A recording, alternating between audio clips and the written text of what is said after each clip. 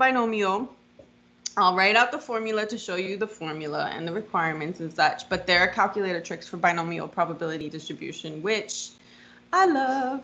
So um, we're going to use the graphic calculator, pull it out if you have it, um, or your app or whatever. And remember I told you before that um, we're either for statistics for this statistics course living in this button stat or this button vars where we're like second vars to get distribution. And so you're going to use that a lot today. Um, so binomial probability distribution, I'm going to just make this bigger. You guys can see my screen and everything. We're cool. Make sure that you can see that before I keep going. Cool. You can see my screen. Type yes in the chat if you can, just to make sure before I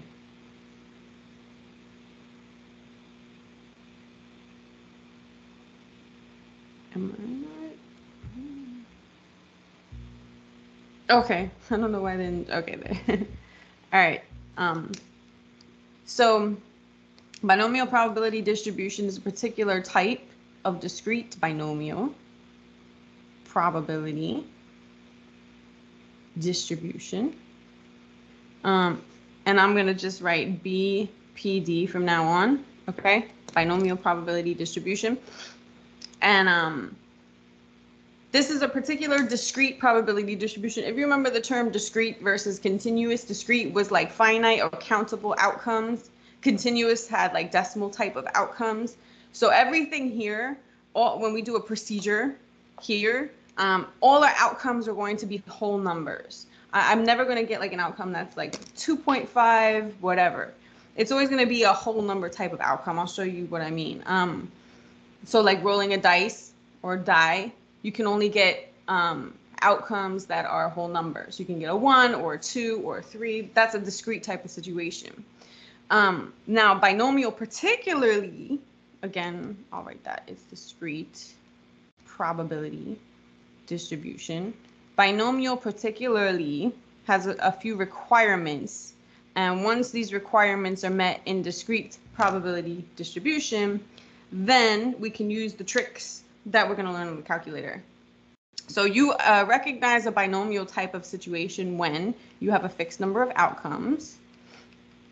Okay, and we're going to represent the fixed number of outcomes as n.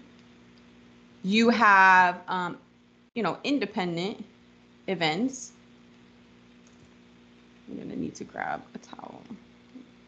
Independent events. If I turn this on, is it too loud? Can you hear me still? I might have to go back and forth. It's like a filter. it's hot in my in this room, so it helps. But if it's too loud, I'll shut it off. Um, I can hear it. Okay. you have independent events. So the the um, probability of, let's say, again, you rolling a die, you rolling a one should not affect you rolling uh, something else after that, right? So if it's a fair die. So independent events, um, two outcomes, particularly for binomial, and we call them success or failure. And when it's like success, it's not necessarily um, like the better outcome. It's just the outcome that you want to calculate the probability for. That's your defined success. Failure would be the complement, right? And then the probability of success for each event would be the same, stays the same per trial. P of S, probability of success, stays the same per trial. Um, and if that if that is true, if these are true, then we have a binomial probability distribution and P of X in a binomial probability distribution represents the probability of exactly X successes in N trials. X represents the number of successes. So if I say I'm rolling a die 10 times and I claim the success to be getting a two, then I have two outcomes. I'm either going to get a two or I'm not going to get a two. And two getting a two would be defined as my success. and if I want the probability of getting like three twos when I roll a die 10 times, that's this kind of thing here. There's a formula. You don't necessarily have to use the formula. I'll show you the calculation. But the formula is ncx times lowercase p to the x times lowercase q to the n minus x, such that lowercase p, and you want to know this notation, represents the probability of success. So if you ever see lowercase p, that's the probability of success in your situation, whatever your success is defined to be. Lowercase q is the probability of failure, which is the complement. And, and we said was the total number of outcomes, or we'll call them oops, fixed trials, number of fixed trials, whatever. And then um, X is number of successes in those fixed trials. Now, formula is not bad, but it can be annoying depending on how many like probabilities you want to calculate. So your calc trick here, I'm gonna write it out for you because I send you guys these notes after, is you want second, and I'll show you examples, vars, and P of X can be found by doing binom PDF and PX. So you can either go through the formula or you can do this. Now this is one particular calculator trick that we use, you know, for the binomial case, but there's another one also. But let's uh, let's do something in the. We'll do something in from the assignment. So I have 54% of all. Let me type this so it's a little nicer. So far, so good. I don't know if you guys looked at anything yet, but just in case, 54% of all. This is an example from the assignment. All right, 54% of all Americans are homeowners. If 30 Americans are randomly selected, find the probability that blank. Different scenarios, all right? so So this is similar to question four on your binomial distribution assignment. I just changed some numbers and I'm probably going to add some questions to it like I always do, right? So first of all, you want to identify it as binomial um, and you know, to be able to use the stuff that we're going to learn, right? So notice that I have a percentage of a population. They're all homeowners, right? um, oh, I'm sorry, they're all Americans, and they're, we're talking about a percentage of them that are homeowners. So if I randomly select one person from all Americans, the probability that that one person is a homeowner is 0.54 or 54%.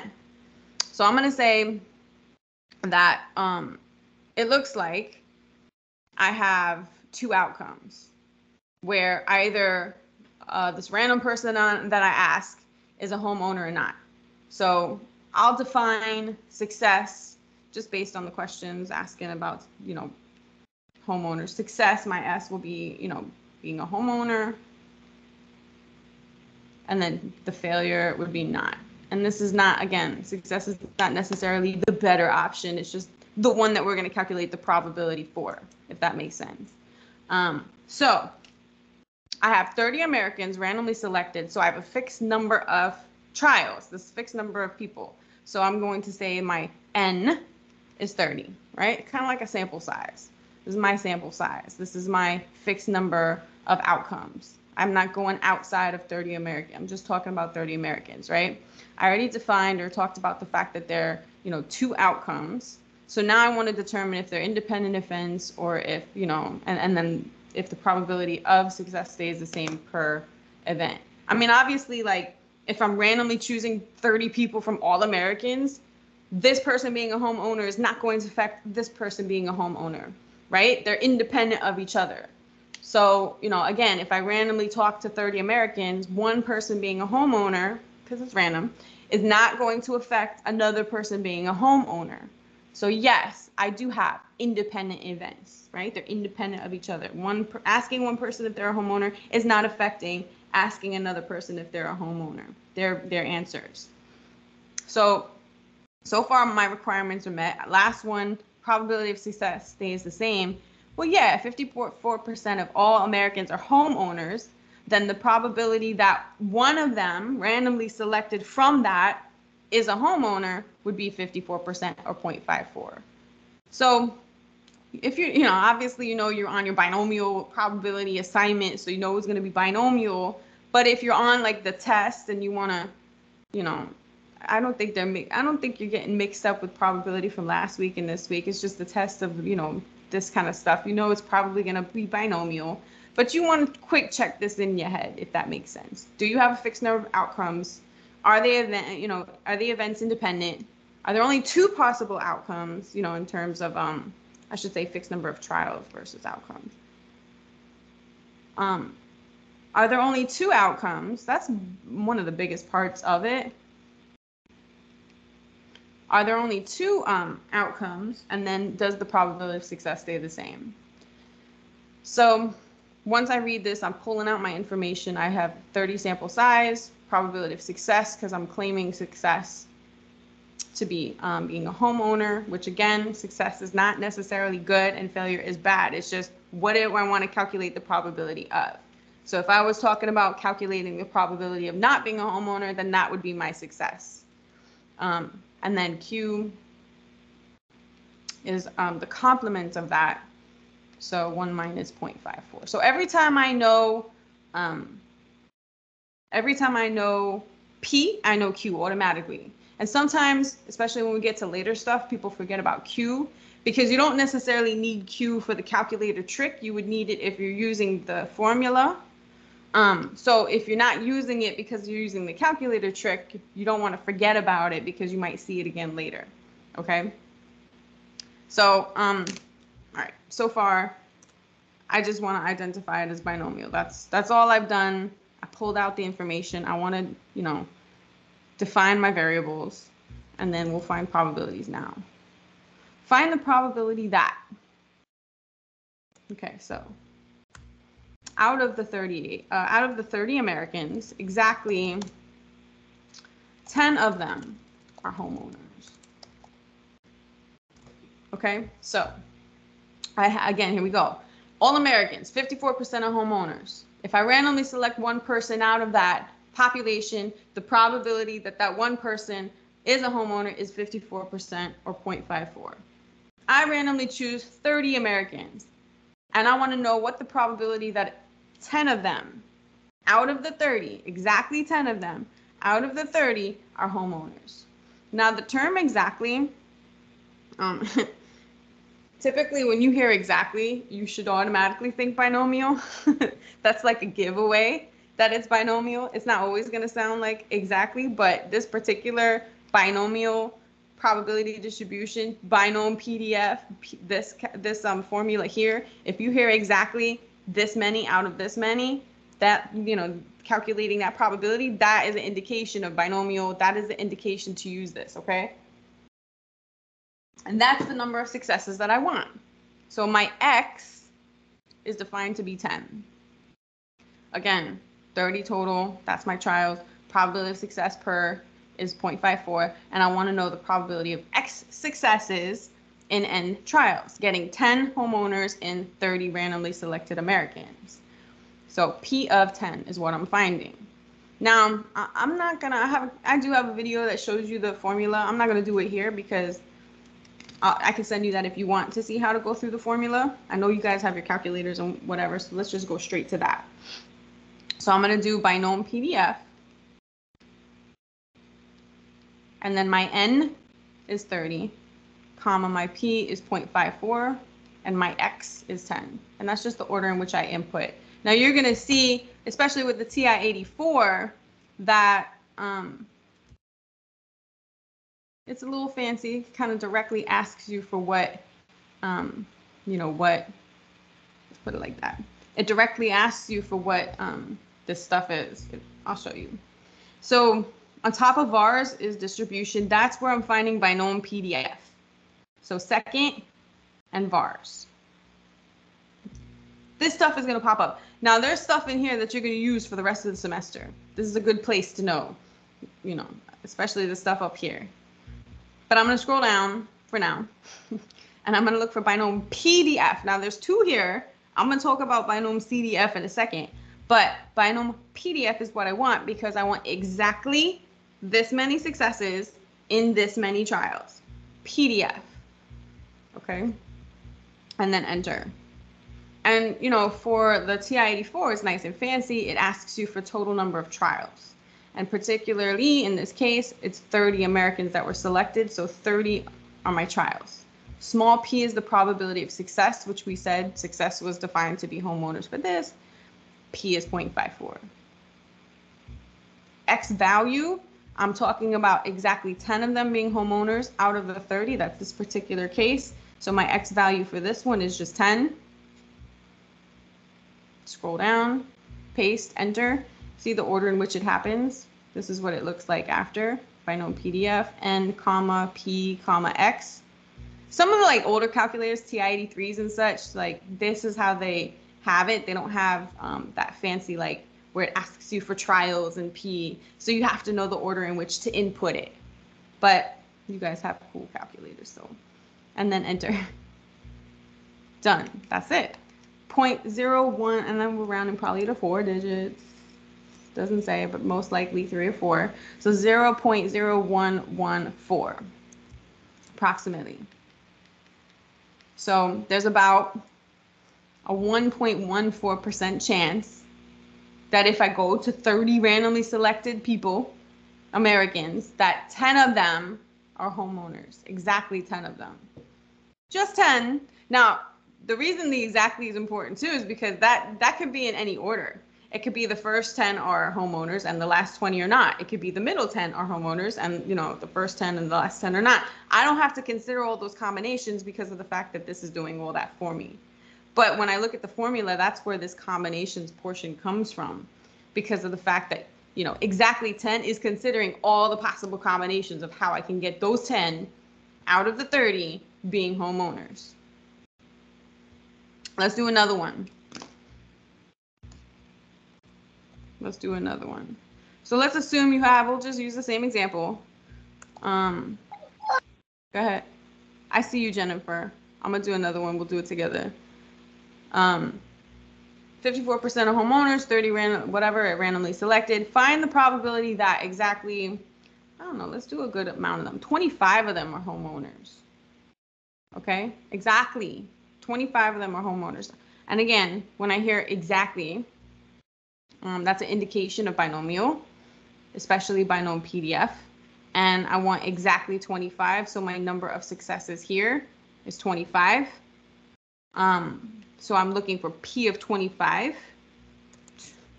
for this particular example. So really the only thing that's going to change is the X because now I'm talking about a different number of successes. So I'm doing binomial PDF again, because I'm talking about exactly 25 out of the 30. My N, 30, my P, 0.54. The only thing that's changing is the X, which is 25 for this particular example. Um, finding binomial PDF, I go to second and vars because I want distribution. So second and vars. Then I'm scrolling down to binomial PDF, not CDF, PDF, which mine is A. Mine is like letter A. Trials are still 30. Probability of success is 0.54, but now my X value is going to be 25 because I want 25 out of the 30. Oops. This is how it shows up, and then enter again. When you hit vars. Make sure you press second and vars. Are you on the physical calculator? Or are you on an app?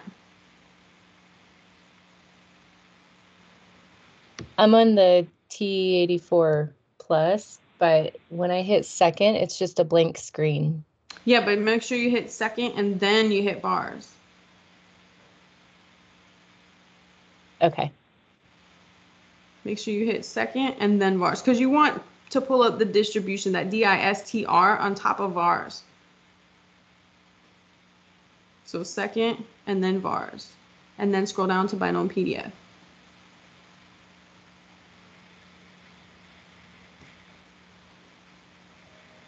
That and then uh, now this is this is a good example because the way that this came out, I want to show you what that means. So did that did that work? Do you see that now? Yeah, that worked. Okay, good. Thank you. Now, um, this is important because I've seen students make this error a lot. Um, you get an outcome 5.991 and you can never have a probability greater than one. So this doesn't make sense, but this is the important part here, E negative four. And if you've never seen that before, this is your calculator's way of telling you scientific notation. Scientific notation. So this is the same thing as saying 5.991 times 10 to the negative four. So if you ever see this E thing, this is scientific notation. And then scientific notation, obviously your calculator can't fit like extremely large or extremely, extremely small numbers. Okay. So it has to represent it with scientific notation. That's how we use scientific notation. And that means when I have this times 10 to the negative 4 negative exponent, that means that this decimal should be moved four places to the left if you remember scientific notation. One, two, three, four, so this is the actual value that that is telling me is the probability of getting exactly 25 out of the 30 Americans as homeowners. It's very small. Make sense? So far, so good. So will we write the whole value out or do you still round to the fourth decimal? I would still round to the fourth. Let me see if they have it represented. Uh, at most, I would still round to the fourth. Yeah. Most of these actually are not as small as mine. Look, just looking in the homework real quick just to see if they have it because they won't represent it as scientific in the homework. I haven't seen it represented that way. But you have to know how to interpret what the calculator is telling you, right? Um, now, I could come up with an infinite number of questions, basically a lot of questions just for this one particular case. Because I could do exactly, you know, I could I could call exactly for days, right? But I'm gonna change it now. Instead of saying exactly, I'm gonna say at most. 10 of them are homeowners. So I changed something. I changed, let me make this pink now. I changed instead of saying exactly 10, I said at most 10. And at most, what does at most 10 mean? At most means, you know, that Up or to? up to that or less, right? So this is including, I'm gonna write it all out. I'm gonna say uh, at most up to it, she said, up to 10, right? This is including exactly zero of them. This is including exactly one of them. This is including exactly, this is including all of these possible outcomes as at most 10. And I personally, especially with this formula, do not want to calculate each one of these separately because there's a lot of them and then add them all up. That's technically what you would have to do, but there's a calculator trick that will help me with that. so, um, let's put that here, calculator trick. So I'm going to actually, I'm gonna write this out and make it nice and neat. So if I say exactly, right?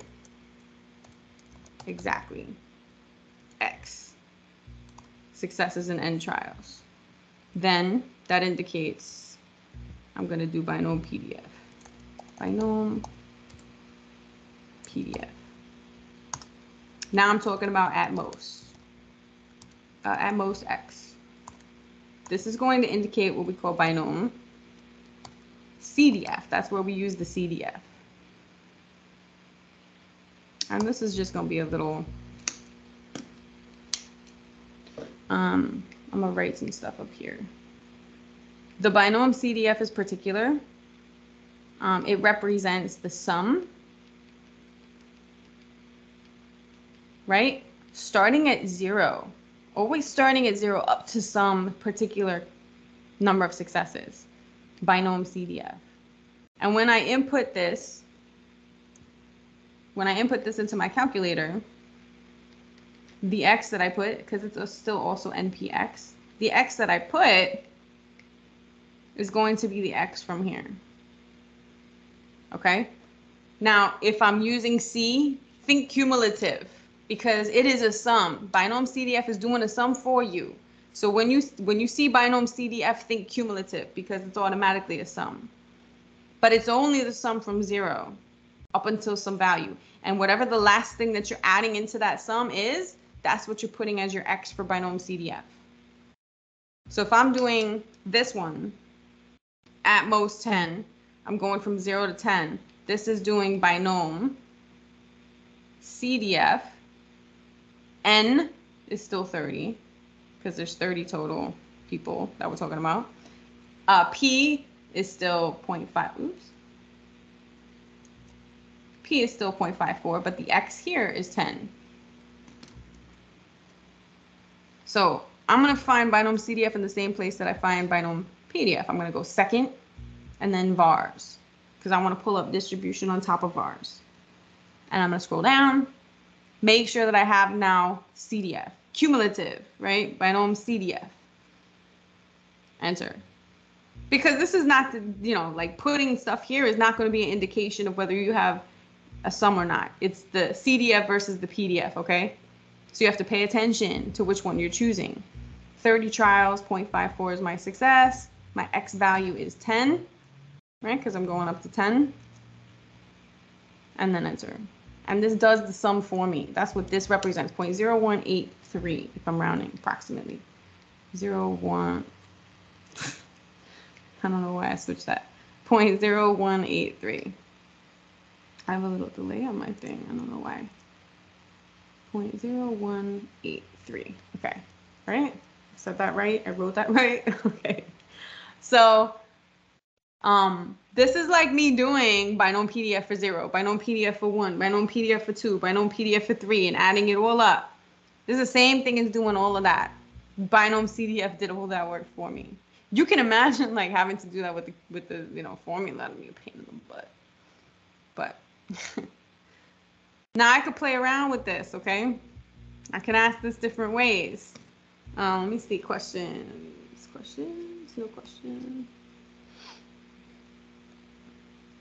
Okay. So I'm gonna make up another problem. Lots of problems I can come up with. We'll still use the same example. Let's do less than. Less than 20 of them are homeowners. Just, you know, they can say at most, less than, greater than, you know, exactly. All these things are fair game. You just have to know what that means. Less than 20 means everything smaller than 20. Is it including 20? Smaller. No, it's not.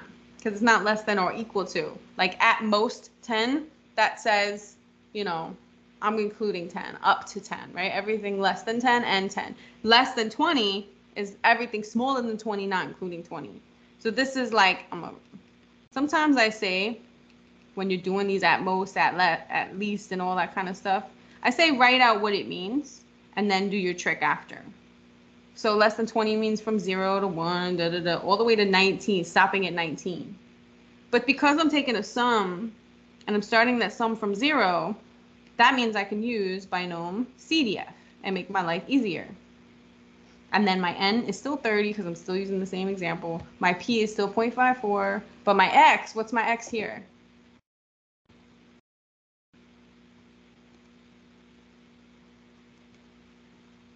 Nineteen. 19, the last one that you want to add up. Okay, let's see what that is. So binom CDF, right? I'm looking for second vars. So again, be careful because it's not PDF, it's CDF. CDF. I'm really only changing the last value, right? which was 19, because everything is still the same kind of situation. And 0.8874 from rounding to 4. 0.8874 approximately. Okay. So 88% chance that I go to a group of 30 people and less than 20 of them are homeowners. That makes sense because that's not that's including, you know, none of them being homeowners. That's including exactly one of them being a homeowner. That's including two out of the, you know, 20 uh, two out of the 30 are being homeowners and all the way up to 19. That's adding up a lot. So I would expect a higher probability for that scenario.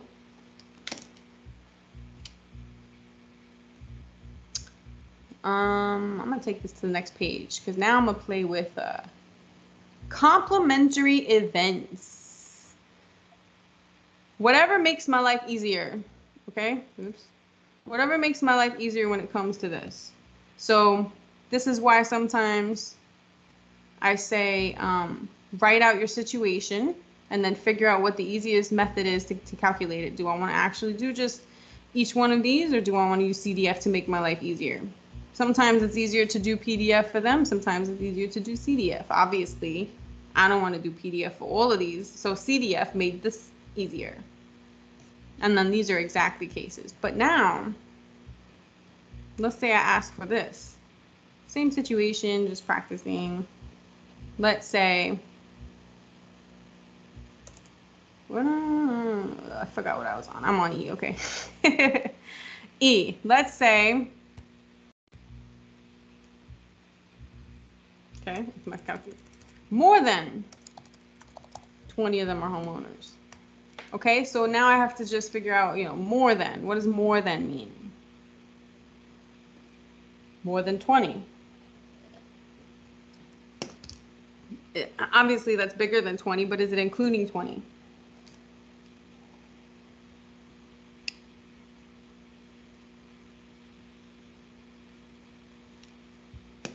Does more than um, 20 include 20? So I would say no. No, it doesn't. More than 20, if I say I have more than $20, or if I have more than 20 cookies, I don't have 20 cookies, I have more than that. I have a lot of cookies to eat. More than 20 means everything bigger. I'm just going to say everything bigger than 20. Bigger. Okay, so, um, and that's out of the 30, right? So that's starting at 21 but that also includes 22 and all the way to 30. That's including all of this sum. Now, the problem with this is that it doesn't start at zero, and so I cannot use CDF directly for this. Because again, binom CDF is particular, starting at zero. So how do I do this then? Because I don't want to do PDF for 21 and binom PDF for 22 and binom PDF for 23. I don't want to do all that. So this is where the concept of complementary events can make your life easier. The complement of 21 or more, right, out of 30 is 20 or less, right? This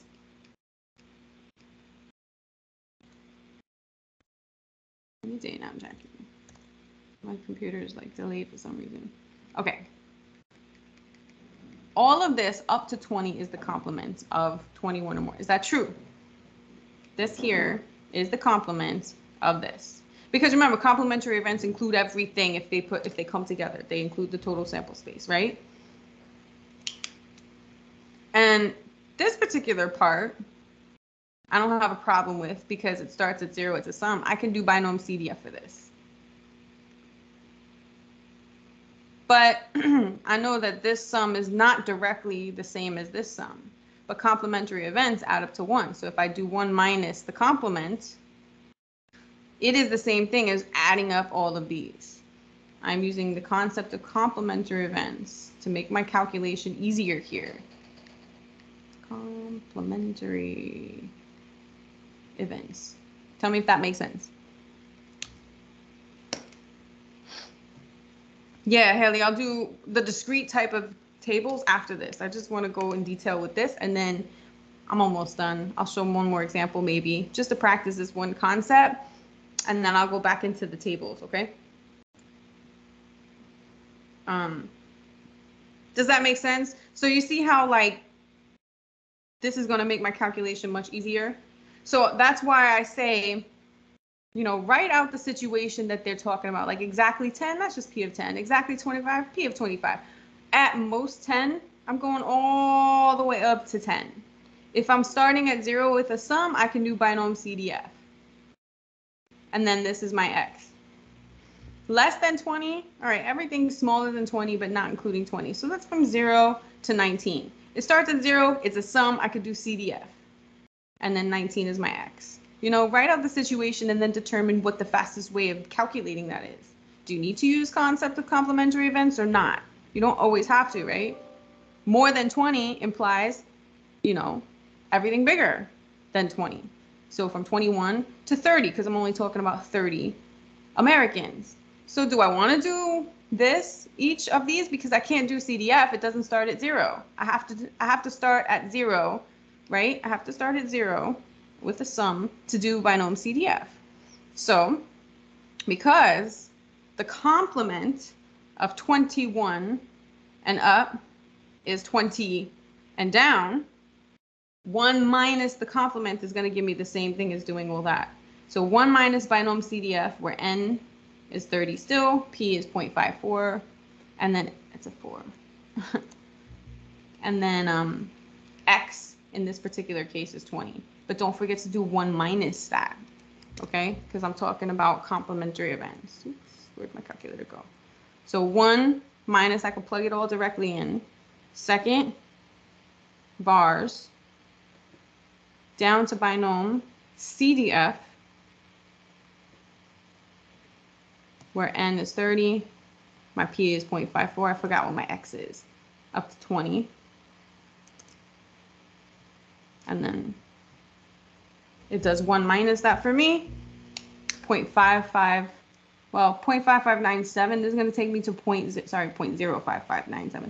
This is going to take me to 0.056, because 9 can't go to 10, so 0.056, approximately 0.056 approximately. So I'm gonna leave it at that because I can come back on it tomorrow and do another example if you want. Let me stop this recording so that I don't overdo my recording sometimes if they're too long. Okay.